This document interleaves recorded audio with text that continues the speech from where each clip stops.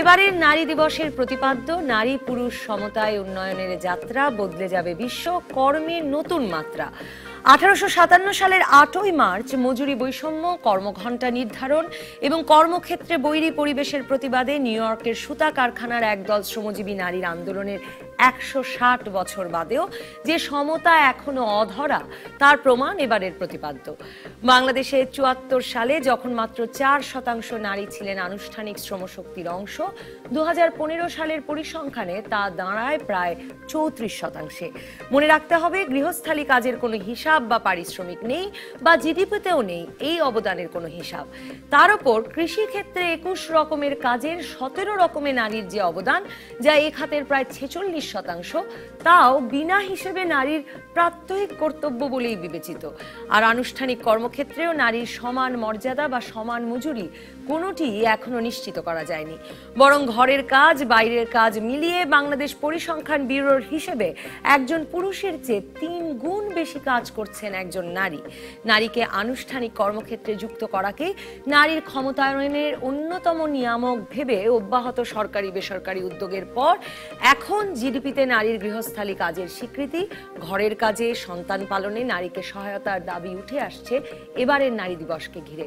তবে সশস্ত্র বাহিনী থেকে বিমান চালনা, শিল্প থেকে কৃষিখাতে নারীর দৃপ্ত পদচারণার মধ্যে এবং আন্তর্জাতিক লিঙ্গ সমতা সূচকে দক্ষিণ এশিয়ায় বাংলাদেশের শীর্ষস্থান সত্ত্বেও বাল্য বিবাহের হারে দক্ষিণ এশিয়ায় সর্বোচ্চে থাকা বাংলাদেশে আঠারোর নিচে বিয়ের বিশেষ বিধান রেখে আইন পাশ উদ্বিগ্ন করেছে নারীর অগ্রযাত্রার আন্দোলনে সামিল সবাইকে। এসব নিয়ে আলোচনা করতে আজ রাজকাহন স্টুডিওতে আছেন দৈনিক ইত্তেফাকের ভারপ্রাপ্ত সম্পাদক তাসমিমা হোসেন এবং ইমেজের প্রকল্প পরিচালক ফারহানা জেসমিন হাসান। আমাদের সঙ্গে যুক্ত হতে পথে আছেন মহিলা ও শিশু বিষয়ক প্রতিমন্ত্রী মেহের আফরোজ চুমকি, এমপি। আজ ভীষণ ব্যস্ত দিনও কাটছে তার কাজে আমরা আশা করছি কিছুক্ষণের মধ্যেই তিনি আসবেন।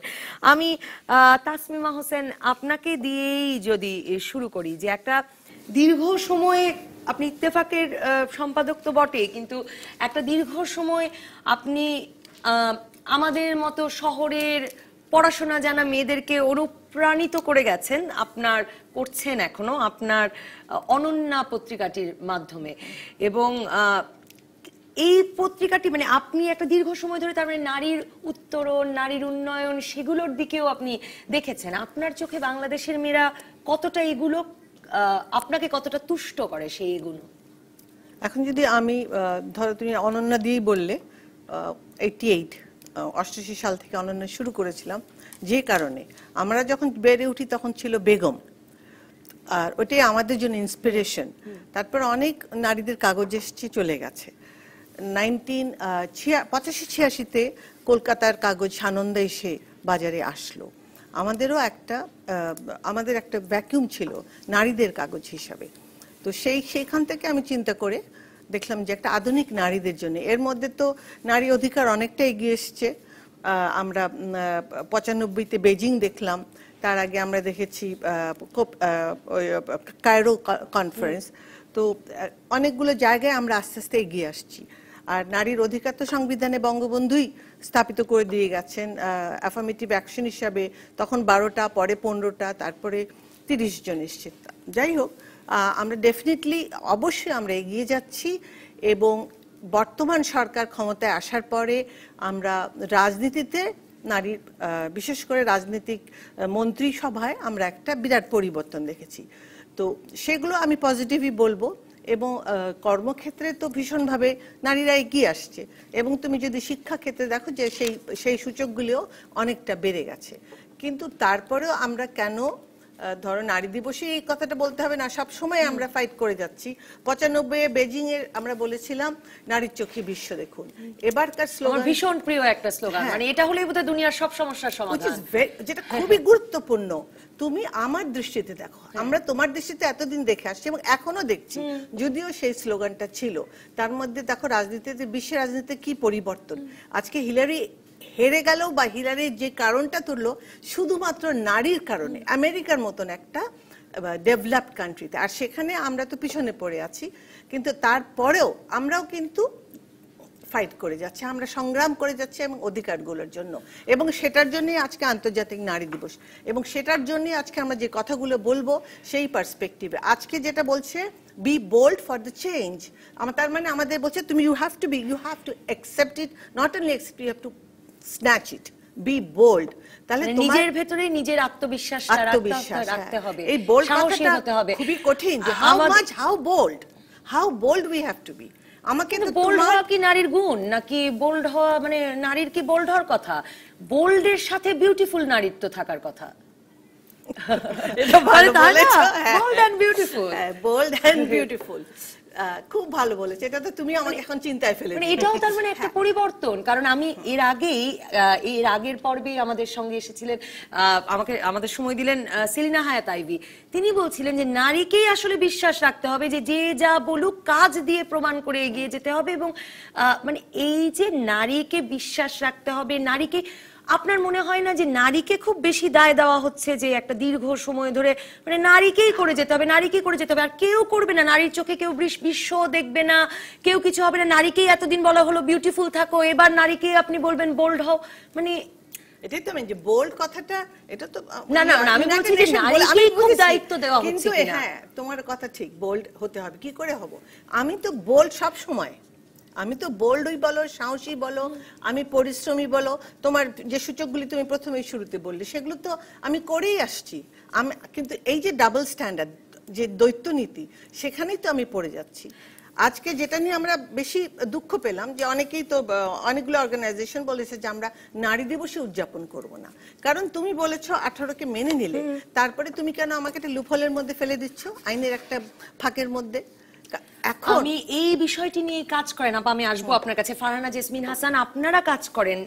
বাংলাদেশ এমনি আপনি তো জানেনই দর্শককে জানানোর জন্য বলি যে বাংলাদেশ এমনিতেই বাল্যবিবাহে বাংলাদেশ খুবই মানে উঁচু হার এবং দক্ষিণ এশিয়ায় আমাদের হার সর্বোচ্চ মানে ইউনিসেফের প্রতিবেদন আহ, বলছে যে আমাদের বাল্যবিবাহের হার সর্বোচ্চ প্রতি তিনটিতে একটি বিয়েই আঠারো বছরের নিচে হয়। তো এমন দেশে এখন বিশেষ বিধান রাখা হলো যে বাবা মা যদি ভাবেন সর্বোত্তম স্বার্থে যদিও এগুলো সংজ্ঞায়িত করবে বিধিতে এবং বাবা মা যদি ভাবেন এবং আদালতের সম্মতিতে বিয়ে দিয়ে দেওয়া যাবে। আপনারা এই অল্প বয়সী মেয়েদের নিয়ে কাজ করে আসছিলেন, যেই শিশুরা, আপনারা এদেরকে বলছেন ম্যারিড চিলড্রেন মানে আসলে চমকে যাবার মতো যে বিবাহিত শিশুদের নিয়ে আপনারা কাজ করছেন। আপনি যদি আপনাদের অভিজ্ঞতা বলেন এবং এই আইনটি আসলে এখন কি ইম্প্যাক্ট ফেলতে পারে সেটাও যদি বলেন। ধন্যবাদ। আমাদের প্রজেক্টটার নাম হচ্ছে image initiatives for married adolescent girls empowerment বাংলায় আমরা বলি বিবাহিত শিশুদের ক্ষমতায়ন। যাদের বিয়ে হয়েছিল আঠারো বছরের আগে এখনও যারা আঠারো বছরের নিচে মানে শিশু অথবা অ্যাডলোসেন্ট স্টেজে আছে মানে উনিশ থেকে বিশের মধ্যে আছেন তারা। তো তাদের সঙ্গে কাজ করতে গিয়ে আমাদের কত ছোট বয়সে বিয়ে হয়েছে এরকম পেয়েছেন আপনারা আমরা লোয়েস্ট পেয়েছি নাইন ইয়ার্স আমরা কাজ করছি তিনটা ইউনিয়ন তিনটা জেলার তিনটা ইউনিয়নে খুব স্বল্প পরিসরে শুরু করেছি। খুব সেন্সিটিভ ইস্যু দেখে নেদারল্যান্ডস এম্বাসির সহায়তায় কাজটা হয়েছে এবং একটু হেজিটেট করেই আমরা কাজটা শুরু করেছিলাম। আসলে এদের কাছে আমরা পৌঁছাতে পারব কিনা? কিন্তু পরে দেখ মানে আমাদের আলটিমেটলি সাড়ে চার হাজার মেয়ের সঙ্গে আমরা কাজ করেছি লাস্ট টু ইয়ার্সে সেখানে আমরা দেখেছি যে সর্বনিম্ন দু নয় নয় বছরও ছিল এবং সে হয়তো মানে যত রকম কনসিকুয়েন্সেস পসিবল মানে নয় বছর হলেও যা হচ্ছে, এর বড় হলেও তাই হচ্ছে। সব ধরনের হেলথ থেকে শুরু করে এডুকেশন থেকে শুরু করে ডেইলি লাইফ থেকে শুরু করে এম্পাওয়ারমেন্ট থেকে শুরু করে এভরি অ্যাসপেক্টে তারা যে কীভাবে পিছিয়ে পড়ে মানে যারা একদম ফিল্ডে গিয়ে ডিরেক্টলি ওনাদের সঙ্গে কাজ করে খুবই অবাক লাগে যে তারা সার্ভাইভ করেন কি করে। আমি একটু যদি ফারহানা জেসমিন হাসান আপনাকে ইন্টারাপ্ট করেই বলি দর্শককেও জানানোর জন্য যে আজকে নারী দিবসে আসলে সব পত্র পত্রিকা জুড়ে তো নারীর বাধা পেরোনোর গল্প সফল সফল নারীদের গল্প। আমি সকাল থেকে সেগুলোই পড়ছিলাম। আজ আপনার সাথে কথা হবে দেখে আপনাদের যে মানে আপনারা একটা ব্রোশিওরের মতো করেছেন এই ম্যারিজ মানে বিবাহিত শিশুদের চিঠিগুলো মানে যা তারা আপনাদেরকে তাদের যে অনুভূতিগুলো দিয়েছে, বলেছেন, সেগুলোর মানে একটা সংকলন করেছেন। কি ভয়াবহ যে মানে শকিং আমাদের জন্য যে এটার মধ্যে ক্রমাগত শিশুগুলো বলছে যে আপনি যেটা বলছেন যে আসলে আর বেঁচে থাকা যাচ্ছে না। মানে কি করে প্রতিটি দিন তাদের পার হচ্ছে? কারণ একটা নয় বছর দশ বছরের বাচ্চার বিয়ে হয়ে যাচ্ছে বারো বছরের মধ্যে তার বাচ্চা হচ্ছে ষোলো বছরের মধ্যে চারটি বাচ্চা হয়ে যাচ্ছে এবং সংসারের সকল কাজ তাকে করতে হচ্ছে এবং তাকে আসলে বাড়ির বাইরে যেতে দেওয়া হচ্ছে না এমনকি বাপের বাড়িও বেড়াতে যেতে দেওয়া হচ্ছে না কারণ তাহলে শ্বশুর বাড়িতে কাজ করবার কেউ থাকছে না। মানে এ তো এক ভয়াবহ বন্দি জীবন। মানে এক রকমের কৃতদাসের জীবন আসলে। কৃতদাসেরই জীবন বলতে গেলে আর সবচেয়ে বড় কথা হচ্ছে যে সে শিশু হিসেবে যে রাইটস তার পাওয়ার কথা সেগুলো সে পাচ্ছে না। একটা ম্যারিড লাইফে যাওয়ার পর যে বিষয়গুলো তার জানা দরকার সেগুলো সে জানছে না। যে সাপোর্টগুলো দরকার লিখেছে সেটা রেপের অভিজ্ঞতা হবার কথা। সেগুলোও আছে। আহ, এবং একটা ম্যারিড মেয়ে হিসেবে পূর্ণাঙ্গ নারী হিসেবে তার যে যে সুযোগ সুবিধাগুলো পাওয়ার কথা, সেগুলো সে পাচ্ছে না, কারণ সে ডিপেন্ডেন্ট ফ্যামিলির উপরে, আবার অ্যাট দ্য সেম টাইম সে ম্যাচিওর এনাফ না যে সে নিজে আগাতে পারে।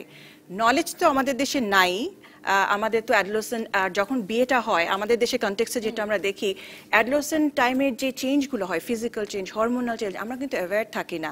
ওই সময়ে এই আমরা কিন্তু একটা একটা ডিলেমের মধ্যে দিয়ে যেতে থাকি। তার মধ্যে যখন আমার বিয়েটা চলে আসে একটা নতুন রিলেশনশিপ এবং একদম পূর্ণ মানুষের মতো রেসপন্সিবিলিটি এক্সপেক্ট করা হয় তার কাছ থেকে মানে সে যে কি পরিমাণ রিস্কে থাকে সেটা মানে সেও বোঝে কি না? এই বাল্য বিবাহ বিশেষ বিধানের পক্ষে বলছেন তারা বলছেন যে বাংলাদেশে মেয়েরা প্রেম করছে আঠারোর নিচে আহ, গর্ভবতী হয়ে পড়ছে সামাজিক সমস্যা সৃষ্টি হচ্ছে। আহ, এইখানে প্রত্যেকটা মেয়ে বারবার বলছে যে বাবা গরিব তাই বাবা না পেরে বিয়ে দিয়ে দিয়েছেন। তারা প্রেমের কথা লিখছেন না। তারা বলছেন যে তাদের স্বপ্ন ছিল তারা পড়বেন, তারা নিজের মতো জীবন কাটাবেন। কিন্তু সেগুলো কিছুই হলো না, কারণ বাবা গরিব ছিলেন। বারবার আসলে ওই জায়গাটিতে আটকে যায়। তো বাবারা তো গরিবই থাকবেন। এই গর্ভধারণের সমস্যাটা আপনারা কতটা দেখেছেন? মানে এই বিবাহিত শিশুদের মধ্যে কয়জন আসলে গর্ভবতী হয়ে বিয়ে করতে করেছিল? গর্ভবতী হয়ে বিয়ে করেছিল এরকম আমরা এখন পর্যন্ত পাইনি। প্রেম করে বিয়ে করেছে খুব কম। ইন্টারেস্টিংলি আমরা যখন জিজ্ঞেস করেছি যে প্রেম ভালোই তো আছে তাহলে যে মানে রোম্যান্টিক লাইফ বলে আপা আমরা বুঝতে পারিনি। এটা যদি আরেকটু পরে হতো তাহলে একই লোককেই বিয়ে করতাম আরেকটু পরে করলে ভালো হতো। এখন আমাদের কাছে কেস স্টাডিও করা আছে। বলেছে যে বিয়ে করেছি ইমোশনাল হয়ে বিয়ে করেছি ক্লাসমেটকে বিয়ে করেছি দুজনেই কিন্তু চাইল্ড ম্যারেজ হাজব্যান্ড ওয়াইফ দুজনেই তখন চাইল্ড ম্যারেজের মধ্যে পড়েছে। পরে বলেছে যে কি যে ভুল করেছি এখন আমি বুঝতে পারছি। তখন ইমোশনাল হয়ে করেছি এখন এই মানে সিচুয়েশন দিয়ে যাচ্ছি আর কি। তো মানে খুব কম এটা মানে খুবই কম হয়তো দুই পার্সেন্ট তিন পার্সেন্ট বেশিরভাগই কিন্তু বাবা মারই ডিসিশন নেন বিয়ের ক্ষেত্রে। আমি একটা বিরতির পর এসে শুনব যে এই মেয়েরাও কি করে বোল্ড হওয়ার সাহস দেখালেন? মানে এই যে আপনারা ক্ষমতায়নের কাজ করছেন এবং আমরা অনেক গল্প এরকম শুনি যে অল্প বয়সে বিয়ে হয়েছে স্বামী পরিত্যক্তা হয়েছেন তারা স্বামী এক পর্যায়ে ফেলে রেখে চলে গেছেন কারণ অসুস্থ হয়ে পড়েছেন যথেষ্ট ঘরের কাজ করতে পারছেন না এবং পুরনো হয়ে গেছেন।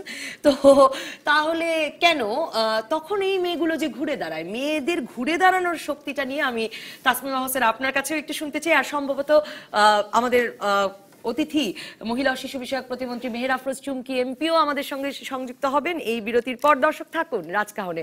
শুনুন নারীদের কথা। ফিরে এলাম রাজকাহনে। আমাদের সঙ্গে সংযুক্ত হয়েছেন মহিলা ও শিশু বিষয়ক প্রতিমন্ত্রী মেহের আফরোজ চুমকি। এরই মধ্যে এসেছেন তিনি রাজকাহন স্টুডিওতেও। তাসমিমা হোসেন, আমি আপনার কাছে যেতে চাই যে মন্ত্রী আপনার কাছে আসবার আগে যে আমরা কথা শুরু করেছিলাম এবং এবার নারী দিবসে তো আপনি জানেনই যে নারী দিবসের আগে যেমন বারবার আমরা আপনাকে, আপনাদের বলছিলাম, বাল্যবিবাহ নিরোধ আইনটি নিয়ে আমাদের উদ্বেগ, আপত্তির কথা, তেমন নারী দিবসকে ঘিরেও বারবারই এই আলোচনা উঠে আসছে। তাসমিমা হোসেন আপনি বলছিলেন বি বোল্ড ফর চেঞ্জ এবার নারী দিবসের থিম মানে আন্তর্জাতিক ভাবে এই স্লোগান নির্ধারিত হয়েছে।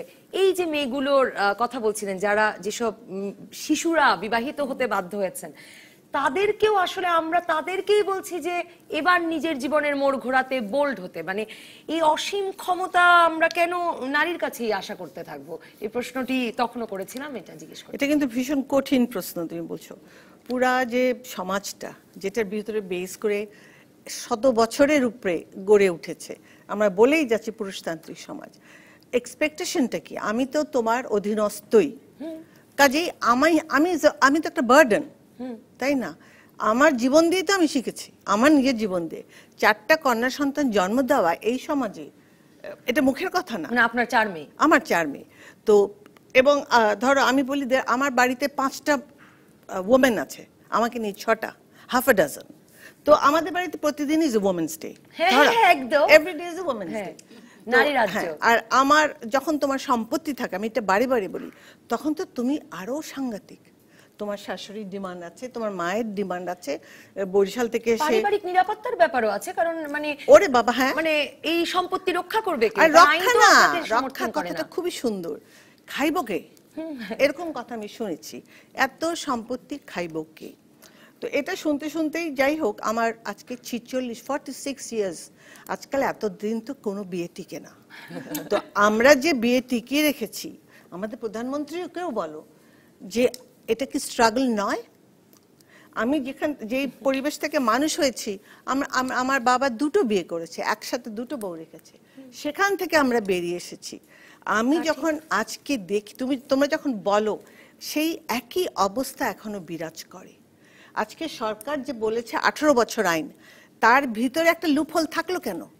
প্রয়োজন হলে ষোলো বছরও করব কিন্তু শাস্তি দেবো তখন তুমি এসে বলবা এই কারণে আমি গরিব ছিলাম এতগুলি বাচ্চা হয়েছে কি করব? কিন্তু আমি ভাবছি যে গভর্নমেন্ট ইটস পলিটিক্স অনেক কিছু বিচার বিবেচনা করেই তো আইনটা করতে হয়। এবং যারা আইনটা করে তারাও তো পুরুষ বেশিরভাগই পুরুষ। বিচার আইন যারা করে বিচার বিভাগে কতটা জন লোক আছে তো কনস্পিরেসির মধ্যেই আছে। না হলে এই যুগে দু হাজার চারে হাফিজ ইউজুর যে বলল ক্লাস থ্রির উপর পড়াশোনা করার দরকার কি? আমি যখন ছিয়ানব্বইতে পার্লামেন্টে ছিলাম, গ্রামে গেলাম, এই আমি গিয়েই আমাদের গ্রামে ওই যে সমিতি করলাম পঁয়ত্রিশটা। তখন অনেকেই বলছে যে, আপনি কি ঘরের মেয়েগুলো কি রাস্তায় নামাই দিবেন? রাস্তায় নামাই দেওয়া মানে কি? তাদেরকে দেহ ব্যবসায় চলে আসতে হবে। তো আমার উত্তরটা এটা আমি বলি, কারণ দিস আর এক্সাম্পল আমি বলি, ওকে, রাস্তায় আমি নামিয়ে দিলাম। আগে যারা পুরুষ ছিল, তারা তো রাস্তায় নামায় নেয় কিন্তু যে সম্পদগুলো নারীদের জন্য বরাদ্দ হয়েছে সেটা কোথায় চলে যাচ্ছে সেটা তো তোমরা ওকে বলো না এই যে প্রাইম মিনিস্টার আমাদের এই সরকার যে করছে তথ্য রাইট টু ইনফরমেশন সেটা তো গাপ হয়ে যাচ্ছে। তো ঠিক আছে সম- করো। আমি রাস্তা না তুমি যখন মরে যাবে আমি বলেছি চেয়ারম্যান স্যার আপনি যেদিন মারা যাবেন আপনার ঘরের লোকরা ওকে বের করে দিবে। দুটো ছোট ছোট শিশু নিয়ে। তার তার জন্য আপনি কি করেছেন? এই রাস্তায় নামার প্রসঙ্গে আসব যে, বাংলাদেশের মেয়েরা তো আসলে দলে দলে। মানে আমরা শুরুতেও যেটা বলছিলাম মেহরাফরোজ চুমকি, এমপি, আপনার কাছে যেতে চাই যে, আসলে আইনগুলো তো আমাদের কারোর জন্য নয়। মানে আপনি মন্ত্রী, আপনার জন্য মানে খুব নারী বান্ধব নয় এর মধ্যে এই বাল্যবিবাহ আইনটি হলো। ধরুন উত্তরাধিকার আইন নারী বান্ধব নয় আমাদের অনেক আইনই নারী বান্ধব নয় সেখানে এই এই আরেকটি আইন আপনারা যুক্ত করলেন। কি কারণে করলেন? মানে সেটা যদি বলেন এই বিশেষ বিধান তো এখন সবাই সুবিধা নেবেন কারণ সর্বোত্তম স্বার্থে তো নারীকে বিয়ে দিয়ে দিলেই বাবা মার দায়িত্ব থেকে মুক্তি এবং এটা তো আসলে হয়তোবা বিত্তবান পরিবারেও এটা হবে। আচ্ছা আমি একটু বলি। আর আসলে একটু দেরিও হয়ে গেল কারণ হ্যাঁ। আন্তর্জাতিক নারী দিবস বিভিন্ন প্রোগ্রাম একটার পর একটা হ্যাঁ আপনাদেরও সবাইকে শুভেচ্ছা জানাচ্ছি। এবং যারা দেখছেন অনুষ্ঠান, তাদেরও সবাইকে আমি শুভেচ্ছা জানাচ্ছি। আর সব জায়গায় যেই বিভিন্ন প্রসঙ্গ আসার পর বাল্য বিয়ের বিষয়টি আসছে। বাংলাদেশে অনেক অ্যাচিভমেন্ট নারীরা এগিয়ে যাচ্ছে, নারী দিবসটা দেখলেও বোঝা যায় যে পুরুষরাও আস্তে আস্তে একটু একটু করে সচেতন হচ্ছে, হাঁটি হাঁটি পাপা করে এবং আমরা হয়তো লক্ষ্যের দিকে যাচ্ছি আস্তে আস্তে। বাল্য বিয়ে আইন, কেন বাল্য বিয়ে আইন করা হলো? বাল্য বিয়ে আইন নিয়ে আপনারা একটা বিষয় নিয়ে বিশেষ কথা বলা হচ্ছে। আবার পনেরো, ষোলো এই ধরনের নানান কথা বলা হচ্ছে। তো আমি যেটা 15 ষোলো তো বলব আর রাখাই হয় আচ্ছা হ্যাঁ আমি বলতে চাচ্ছি প্রথম বিষয় হলো যে পুরাতন আইনটি ছিল উনিশশো উনত্রিশ সনের আর আজকে এইটি এইট ইয়ার্স পার হয়ে গেছে।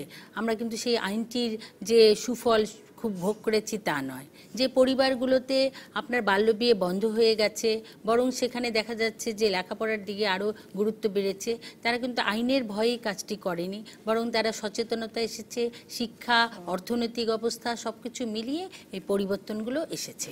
আমরা আইনটি করেছি এবং এই আইনটির একটি ধারা নিয়ে সাংঘাতিক ধরনের সবাই উদ্বেগ পোষা মানে আমরা যেমন সর্বোত্তম স্বার্থ বলতে আপনারা হ্যাঁ, কি আচ্ছা, বোঝাচ্ছেন হ্যাঁ, এটা আমি জানার জন্য অপেক্ষা করছি হ্যাঁ, আমি বলছি আমি বলছি আপনার আপনার প্রথম বিষয়টা হলো আইনটির পরিষ্কারভাবে সবাইকে আমি জানাতে চাই, এই আইনে আঠারো বছর মেয়েদের বিয়ের বয়স, তার নিচে বিয়ে আইনত দণ্ডনীয় এবং একুশ বছর ছেলেদের বিয়ের বয়স। এবং আগে এই আইনটি ছিল দুর্বল মানে আপনার দণ্ডগুলো ছিল খুবই ছোট মাপের, এখন সেটা কঠোর হয়েছে, দুই বছর থেকে ছয় মাস এবং অর্থদণ্ড পঞ্চাশ হাজার টাকা এবং লক্ষ টাকাও অনেক ক্ষেত্রে। এবং অপ্রাপ্ত বয়স্ক বিয়ে করলে সেও আইনের আওতায় পড়ছে এবং তাকেও আইনের আওতায় আনা হচ্ছে এবং তার হয়তো আপনার শাস্তিটা একটু কম হচ্ছে। কাজীর একদম লাইসেন্স বাতিল হয়ে যাচ্ছে দ্রুততার কারণ স্বাভাবিকভাবে এবং জন্ম নিবন্ধন এই ব্যাপারগুলো ম্যান্ডেটরি এবং সিরিয়াসভাবে দেখা হচ্ছে এই আইনের মধ্যে এবং এই আইনের মধ্যে কিছু সুযোগ আছে যে এলাকার গণ্যমান্য ব্যক্তি প্রশাসনের লোকজন, তারা মিলে এই বিয়ে বন্ধ করার মতন তাদেরকেও সেই ক্ষমতা দেওয়া হয়েছে, যেন দ্রুত বিয়েটা বন্ধ করতে পারে। আর এই সবগুলো বিষয়ের পরে আসছে একটা বিধান মানে আপনার উনিশ। উনিশ ধারায় আমাদের বিশেষ বিধানটা, এটা আপনি বলবেন যে কোনো আইনে।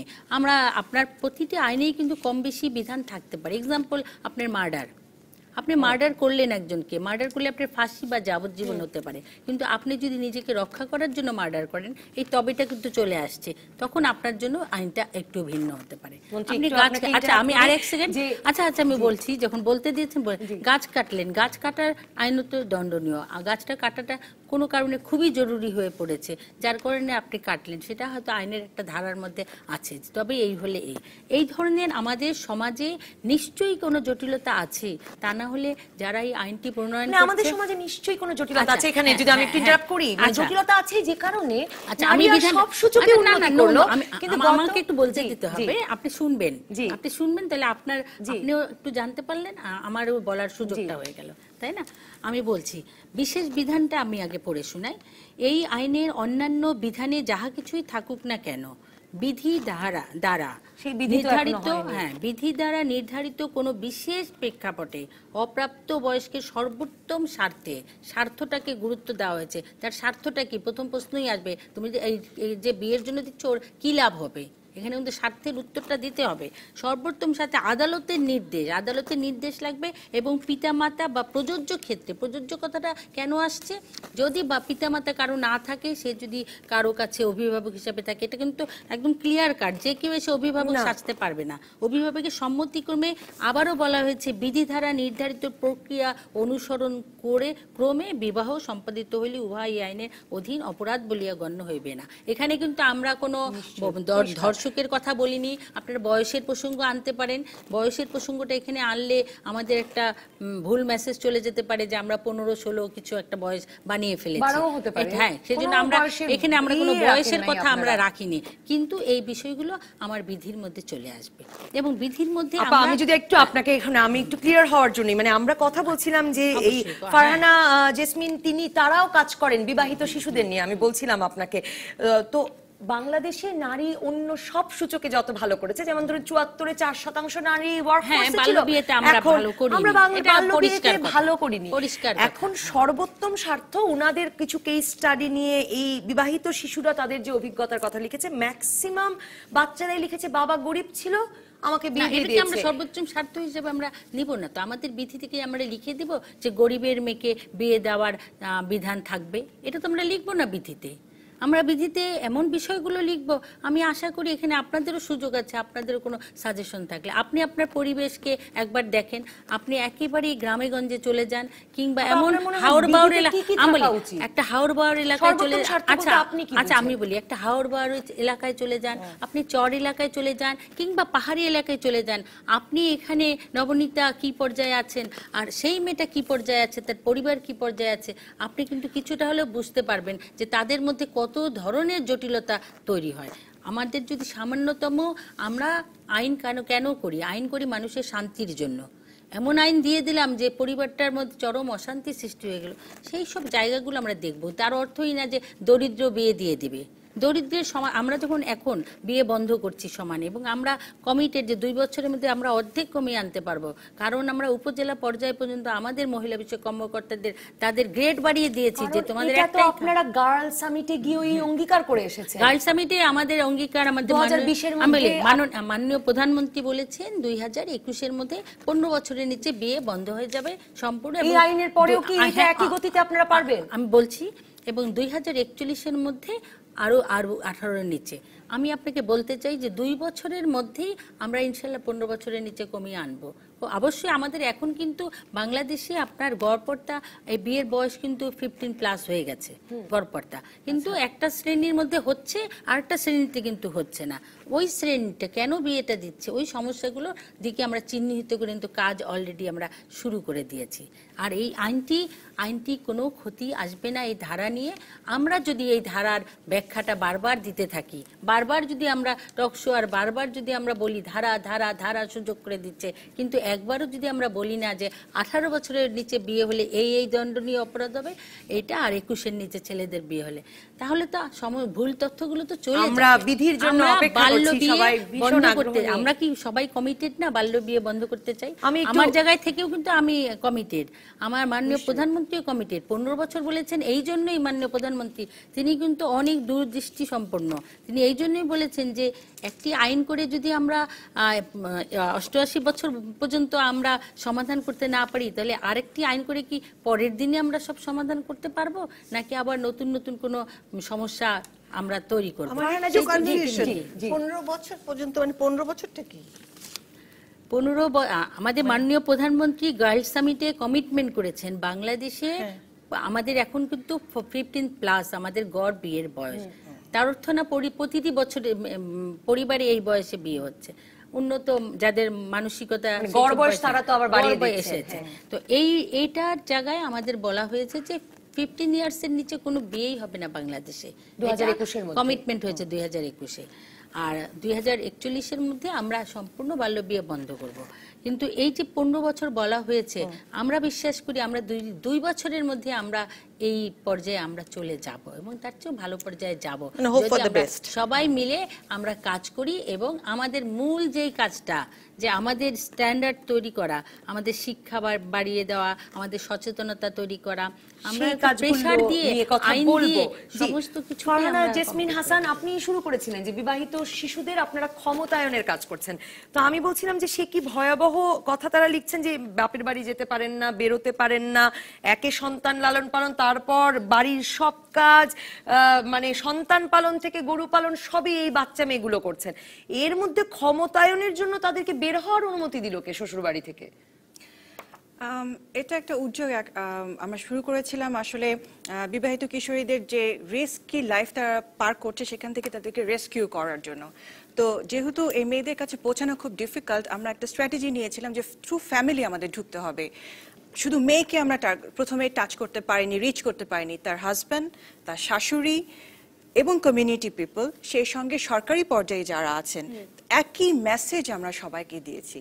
যার জন্য মেয়েটি যখন জানতে পারছে এবং হাজব্যান্ডের সঙ্গে কথা বলছে তার বিষয়টি নিয়ে হাজবেন্ড রেসপন্ড করছেন। হাজব্যান্ড রেসপন্ড করছেন কাপল হিসেবে রেসপন্ড করছেন কিন্তু মার কাছে গিয়ে যখন বলছেন হয়তো সেখানে একটা বাধা আসতে পারে মা তখন আবার যখন এই বিষয়টি নিয়ে ইনফর্ম উনি তখন রিলেট করতে পারছেন। তখন সবকিছু কিছু যেমন কমিউনিটি থেকে একটা বিষয়টা আসে যে, না, আমাদের মেয়েটি বউটি বিবাহিত, কিন্তু আমার মেয়ের মতোই এবং তারও এই জিনিসগুলো দরকার, তখন এই জিনিসটা ক্লিক করে। তো এটা মানে একটা শ্বশুর বাড়ির অনুমতিটা পাওয়াও যায় আবার। পাওয়াও যায় কিন্তু ওই যে খুব টেকনিক্যালি কি ধরনের আপনারা কি ভাবে মানে ক্ষমতায়নের কথা বলছিলেন এই ছেলে মেয়েগুলো আমি ছেলে মেয়ে মানে এই মেয়েগুলো বেশিরভাগই লিখছিল যে তাদের অনেকের হাতের লেখা খুব সুন্দর অনেকে সবগুলো মানে ভীষণ সুন্দর বানানে সুন্দর ভাষায় লিখেছে। তো তারা সবাই বলছিল তারা খুব পড়তে আহ, চাইতেন। মানে ক্ষমতায়নটা কি করে করছেন আপনারা এই কিশোরীদের? আমাদের প্রথম আমরা এন্ট্রি করেছি হলো হেলথ নিয়ে। সে যেন যেহেতু সে অ্যাডলোসেন্স স্টেজে আছে তখনও এবং at the same time married লাইফে আছে এবং সে প্রথম বাচ্চা দ্বিতীয় বাচ্চার মধ্যে চলে গেছে তার যেন স্বাস্থ্যগত দিকটা স্বাস্থ্যটা যেন ঠিক মতো মেনটেন হয়। নিউট্রিশন বলেন আর পরিষ্কার পরিচ্ছন্নতা বলেন সব দিক থেকে যেন মেনটেন হয়। আমরা ওই দিক থেকে স্টার্ট করেছি. বেসিক হেলথ অ্যাওয়ারনেস থেকে এক্স্যাক্টলি তারপরে আমরা গ্র্যাজুয়ালি গেছি সে পড়াশোনা করতে চায় কিনা। পড়াশোনা যদি করতে চায়, সেক্ষেত্রে তার হাজব্যান্ডের অনুমতি, তার ফ্যামিলিকে তৈরি করা, কীভাবে সে স্কুলে ব্যাক করতে পারে। আবার অ্যাট দ্য সেম টাইম আমরা প্রথমে কিন্তু প্রথম দুই বছরে ফোকাস ছিলাম শুধুমাত্র হেলথ নিয়ে। পরে কাজ করতে গিয়ে দেখি যে এডুকেশন লাইভলিহুড অপরচুনিটিস এবং সবচেয়ে বেশি যেটা সমস্যা অলমোস্ট এভরি গার্ল হচ্ছে আপনার জেন্ডার বেস ভায়োলেন্সের শিকার। কোনো না কোনোভাবে। তো এই সেকেন্ড ফেজ যখন আমরা শুরু করেছি তখন of Netherlands lead organisation Red Orange media media organisation ওনারা বিভিন্নভাবে মেটেরিয়ালস তৈরি করেছেন জনসচেতনতার জন্য। তো এই বিষয়গুলো সবকিছু মিলে ক্লিক করেছে। একটা বিরতির পর ফিরে তাসমিমা হোসেন আপনার কাছে জানতে চাইব যে মানে এই নারীদের নিয়ে একসাথেও তো অনেকদিন কাজ করলেন। এখনও নাকি বাহাত্তর শতাংশ নারী ঘরে নির্যাতনের শিকার হয় এবং মুখে সেটা বলে না। তো আজকেও ফেসবুকে আহ, আমাদের নারী বন্ধু পুরুষ বন্ধু সবাই লিখছিলেন যে আহ, ঘরে বসে বসে শিক্ষিত মেয়েরা মার খায় কেন? এটা নিয়ে একটা বিজ্ঞাপন হয়েছে। সেই বিজ্ঞাপনকে ঘিরেও ভীষণ আলোচনা যে শিক্ষিত মেয়ে মার খাবে কেন? সেই মেয়ের সম্মান কোথায়? শিক্ষিত মেয়েরা মার খায় কেন? দর্শক, থাকুন রাজকাহনে। ফিরে এলাম রাজকাহনে। তাসমিমা হোসেন, আপনার কাছে একটু যেতে চাইছিলাম যে ফারহানা জেসমিন হাসান বলছিলেন যে, সব বিবাহিত শিশুরা, তারা প্রায় সবাই বাড়িতে নির্যাতনের শিকার। কদিন আগে এক পরিসংখ্যান বেরিয়েছে, তাতে বলছে বাংলাদেশে বাহাত্তর শতাংশ নারী ঘরে নির্যাতনের শিকার, কিন্তু কাউকে বলে না। আর আজকে সোশ্যাল মিডিয়া গরম মানে বাংলাদেশে কোনো একটি পণ্যের বিজ্ঞাপন নিয়ে যে নারী মার খায় সে কেঁদে কেঁদে সেটা দেখানোর কি হলো? মানে নারী শিক্ষিত মেয়ে মার খাবে কেন? যে মেয়ে পার্লারে যায় সে মেয়ে মার খাবে কেন? মার খায় কেন নারী? আপনি তো একটা দীর্ঘ সময় ধরে নারীদের সঙ্গে কাজ করছেন শিক্ষিত নারীদের সঙ্গে কাজ করছেন সচেতন নারীর সঙ্গে কাজ করছেন। এত কি সহজ মার খেয়ে বলে বেড়ানো এবং বেরিয়ে আসা? মানে সত্যি কথা কি আমি তো খুব প্র্যাকটিক্যাল মানুষ। হ্যাঁ প্র্যাকটিক্যাল কথাটাই শুনতে চাই মানে বাঁচতে হবে তো। তোমাকে যখন সিঙ্গেল মেয়েদের বাড়ি ভাড়াও দেয় না, তুমি চাকরিটা কোথায় পাবে? তো তুমি আগে কোনটা ইউ হ্যাভ টু বি আমি সবসময় বলি, একটা স্ট্র্যাটেজি রাখো, তোমাকে বাঁচতে হলে। তোমার স্বামী মারছে, ঠিক আছে, সে আরেকটা পরকীয়া প্রেম যাকে বলে, করছে। বড়লোক ঘরে যারা, তারা একটু ভাবছে, বাবা, আমি পেটে ভাতে আছি, স্বামীর পাশে দাঁড়িয়ে যাচ্ছি পার্টিতে। এটাই নেই। কিন্তু তারপরেও সে কি সে কি পারে না তার এবিলিটিটা তার ভিতরে স্ট্রেংথটাকে আরও পাওয়ারফুল করতে? তার যে পয়সাটা সে যে ব্যাগ কিনছে বা স্বামীর পাশে যাচ্ছে, সেটাকে সে শক্তিতে কেন পরিণত করতে পারে না? তোমার কতগুলি প্রবলেম আছে? প্রবলেম থাকবেই। যে নারী বাইরে কাজ করে ইন্ডিপেন্ডেন্ট সব আছে, কর্মজীবী নারী, পয়সা করছে হয়তো সিঙ্গেলও তারও তো প্রবলেম আছে। আবার আমার একটা সন্তানও আছে, সেটাও তো একটা নারীর একটা মানে মার খেলো আর বেরিয়ে গেল মানে না তুমি রুমানা খন্দকার শক্তি যে আবিষ্কার করতে মেয়েটা কানাডাতে কাজ করতো ফিরে তার আমি বলি একটু এই ব্যাপারটা এই এই ধরনের হতে পারে আমাদের সমাজ সমাজ থেকে তো আমরা বিচ্ছিন্ন হতে পারিনি। একজন মেয়ে শিক্ষিত মেয়ে তার বিয়ে হয়েছে সে হাজবেন্ডের মার খাচ্ছে। ঠিক আছে? মার খাচ্ছে তার পিছনে কিন্তু অনেক ব্যাপার আছে মেয়েটার। মেয়েটা সহ্যটা করছে কিন্তু তার একার জন্য না। সে বেরিয়ে আসতে পারে হয়তো চাকরি করে তার জীবনটা চালাতে পারে কিংবা সন্তানটাকে নিয়েও চালাতে পারে। হ্যাঁ, বাড়িতে না, না, আমি বলছি বাড়িতে উঠল না সে তার কিন্তু আরও দু তিনটা হয়তো বোন আছে। তার পরিবার আছে। সে যখন বেরিয়ে যাবে ওই দুই দুইটা বোনের হয়তো এখনও বিয়ে হয়নি। তখন তা প্রশ্ন আসবে যে এক বোন বাড়ি থেকে চলে গেছে এই বোনগুলো ওই পদেরই হবে। দোষটা তো মেয়ের ঘাড়ের মধ্যেই চলে আসে এবং মানুষ তখন কিন্তু গুনগুন করে বলে এটুকু ধৈর্য নেই সহ্য নেই। ওর আসলে অনেক গলদ আছে বাইরে কাজ করে অনেক রকম সমাজকে। অবশ্যই মানুষ মানসিকতা বদলাতে হবে। যখন আমার আমরা দেখেছি যে একটা মেয়ে যখন বাইরে কাজ করতে যায় বা একটা মেয়ে কিছু হলে বাবা মামারা টেনশনে অস্থির হয়ে যায় কিংবা ধমক দিয়ে যায় এত রাত করলা কেন? এটার পিছনে কিন্তু কারণ আছে। কারণ হলো গিয়ে সেই মেয়েটা বাইরে যেয়ে যদি কোনো বিপদগ্রস্ত হয় সেই মেয়েটাকে কেউ ক্ষমা করবে না। কিন্তু যেই পুরুষটা তাকে ক্ষতি করল, সেই পুরুষটাকে সমাজ কিন্তু ক্ষমা করে দেয়। যার কারণে এই সমস্যাগুলো। একটা মেয়ে বাইরে কাজ করবে, বাইরে কাজ করতে পারবে না রাতে। কিন্তু আসলে কি ও পারবে না? ও পারবে কিন্তু ওর ওকে পারতে দেওয়া হবে না। কারা যদি চারপাশের পুরুষেরা তার পরিবেশটা অনিরাপদ হ্যাঁ, না করে তোলে। আপা আমি। আসব আপনার কাছে। আপা, আপনি শুরু করেছিলেন যে রুমানা মঞ্জুরের কথা। মানে আমাদের সবাইকে বোধহয় ভীষণ ভাবে নাড়া দিয়েছিল। ঢাকা বিশ্ববিদ্যালয়ের শিক্ষিকা চোখ দুটো উপড়ে নিলেন স্বামী এবং ক্রমাগত নির্যাতনের শিকার হচ্ছিলেন তিনি।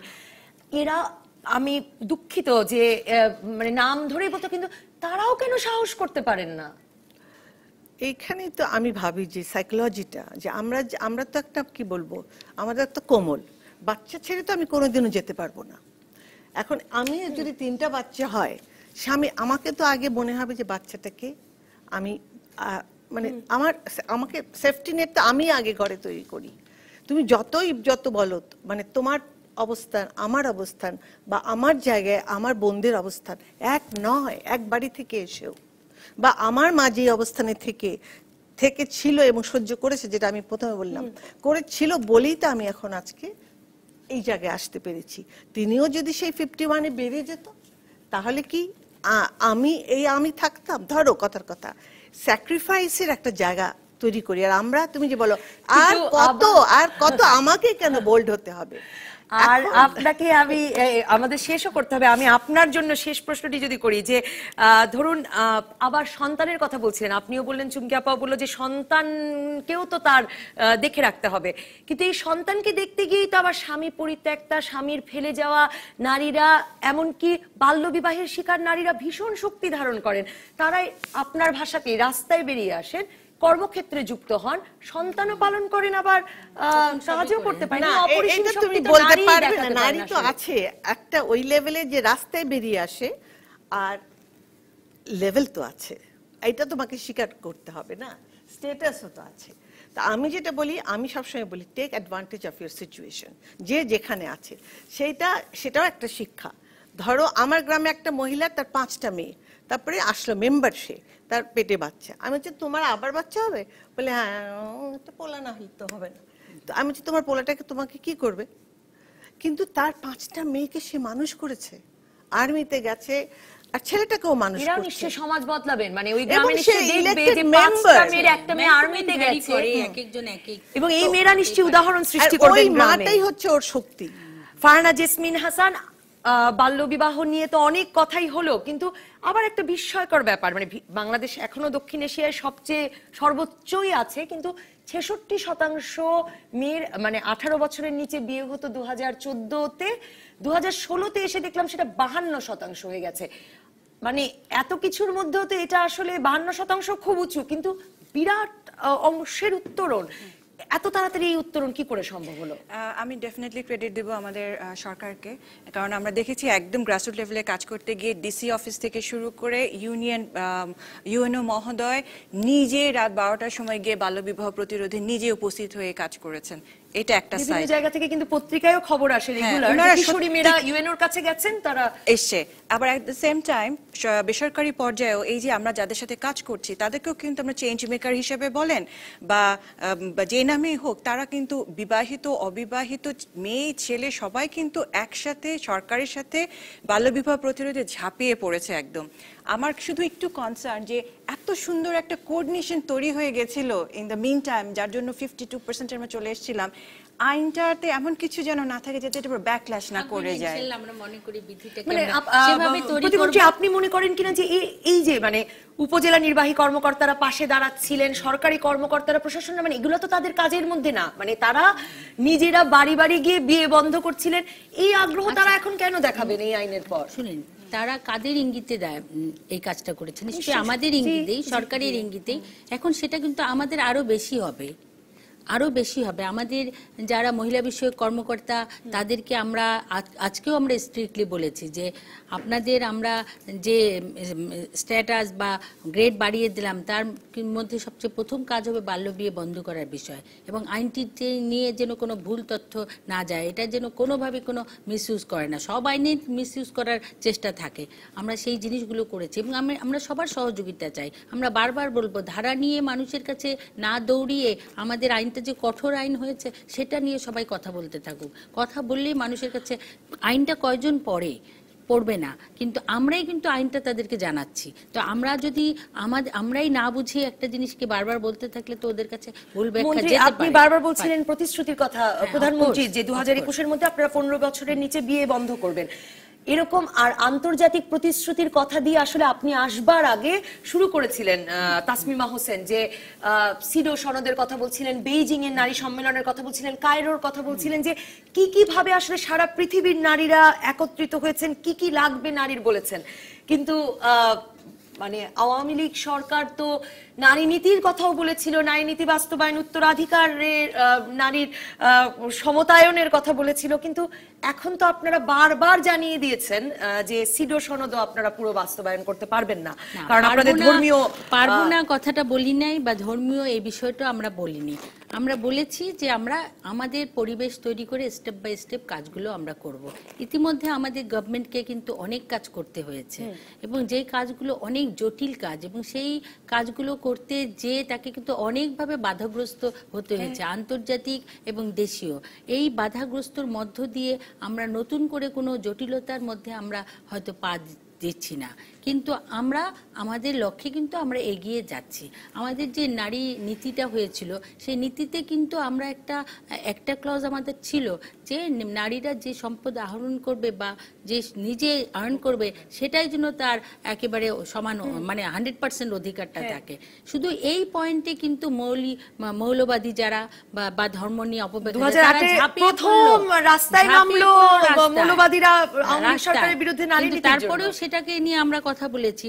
কাজে আমরা কিন্তু আমাদের মতন করে আমরা স্টেপ বাই আসছি। আমরা কোনোটাই করব না এই কথা বলিনি কিন্তু আমরা ধর্মকেও সমুন্নত রাখব আমরা সমাজকে সমুন্নত রাখব নারী দিবসের প্রতিপাদ্য যায় এবারে বাংলাদেশে যে নারী পুরুষ সমতায় উন্নয়নের যাত্রা বদলে যাবে বিশ্বকর্মে নতুন মাত্রা। মানে বাংলাদেশকে মধ্য আয়ের দেশ হতে হলে বাংলাদেশের জিডিপি প্রবৃদ্ধি ঘটাতে হলে তো নারীকে আসলে কর্মে থাকতে হবে নারীকে সাহসী হতে হবে নারীকে এগিয়ে যেতে হবে। কাজে সরকারেরও তো স্বার্থ আছে। আমাকে তাসমিমা আপাকে ফারহানা আপাকে দেখে রাখবার। সেই কাজই তো করে যাচ্ছেন। আমরা যে নারী পুরুষের সমতার কথা বলেছি, এটাই হলো উন্নয়নের যাত্রা। অর্থাৎ planet fifty fifty by two thousand thirty এবং আমাদের এটা সাস্টেনেবল ডেভেলপমেন্ট গোলের লক্ষ্যমাত্রায়ও এটা চলে আসছে। আর তাই আমরা চাই যে আমাদের নারীরা প্রস্তুত হোক, তৈরি হোক, এবং সেই জায়গাটা কিন্তু আমাদের সরকার, আমাদের মাননীয় প্রধানমন্ত্রী আমাদের দিয়ে গেছেন। আমাদের অনেক চ্যালেঞ্জিং জায়গা, যেই জায়গাগুলো আমাদের স্বপ্ন ছিল, সেই জায়গায় এখন নারীরা বিচরণ করছেন। এবং সেই জায়গাগুলোতে যে তারা প্রমাণ করতে পাচ্ছেন যে হ্যাঁ সুযোগ পেলেই তারা পারবে। সংখ্যাটা কম। এই সংখ্যাটা বৃদ্ধি করতে হবে। বৃদ্ধি কাদের দিয়ে করব? আমি নিশ্চয়ই আমার যোগ্য মেয়েদের দিয়েই করব। আমি তো এমন কাউকে দিয়ে করতে পারব না যে ওই জায়গায় যে বুঝিয়ে দিবে যে মেয়েরা পারে না। তা তো না। তাহলে আমার যোগ্য যোগ্য মেয়েকে এক ইয়ে সেকেন্ড এক সেকেন্ড যোগ্য মেয়ে তৈরি। করতে হলে আমাকে তাকে শিক্ষিত করে তুলতে হবে। তার যে দারিদ্রতা কমিয়ে আনতে হবে তার অর্থনৈতিক অবস্থা আমি তোমরা যদি একটু চিন্তা করো নাইনটি সিক্স নাইনটি সেভেনে এই বর্তমান প্রধানমন্ত্রী যে স্টেপটা নিয়েছিল আমরা কেন বলে যাই? যে রাজনৈতিক ক্ষমতায়নে যে মেয়েদেরকে ডাইরেক্ট ইলেকশনে আনছে সেই সময় সাড়ে চার হাজার মেয়ে ইলেকশনে আসলো। আজকে সেটা হচ্ছে বিশ বছর আগের কথা। এই বিশ বছরে কি একটা পরিবর্তন? মানে ইউনিয়ন কাউন্সিল হ্যাঁ, এই যে মেম্বার ডাইরেক্ট মেম্বার জি, জি, আগে ছিল ওদেরকে সিলেকশন সেখান থেকে একটা বিরাট পরিবর্তন এসেছে। আর সেই সময় আমি পার্লামেন্টে তো আমি খালি ভাবতাম যে বাপরে বাপ এদেরকে যখন এনজিওরা ট্রেনিং দিবে প্রত্যেকটা মাত্র পাঁচচল্লিশ বছর ছেচল্লিশ বছর একটা দেশের বয়স আমেরিকা আড়াইশো বছর বয়স আমরা তো তার সাথে টেক্কা মারতে পারব। আমার কথা এটাই। সাফল্যের কথা দিয়েই আজকে রাজকাহন শেষ করতে চাই যে হয়তো ধৈর্য ধরতে হবে কিন্তু সাহসী হতে হবে নিজেরাই নিজেদের বাধা ভেঙে এগিয়ে যেতে হবে আর যোগ্য হতে হবে এর সাথে bold হতে হবে। চেঞ্জের সাথে বোল্ড হতে হবে। অসংখ্য ধন্যবাদ। ফারহানা জেসমিন হাসান ধন্যবাদ তাসমিমা হোসেন ধন্যবাদ মেহেরা ফরোজ চুমকি এমপি ধন্যবাদ দর্শক যারা সঙ্গে ছিলেন রাজকাহনের আপাতত বিদায়।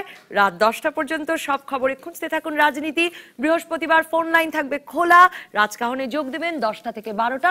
আপনার বিশ্লেষণের সঙ্গে মেলাবো। আমার বিশ্লেষণ তৈরি হবে নতুন রাজকাহন। থাকুন gibi sizi yaşam.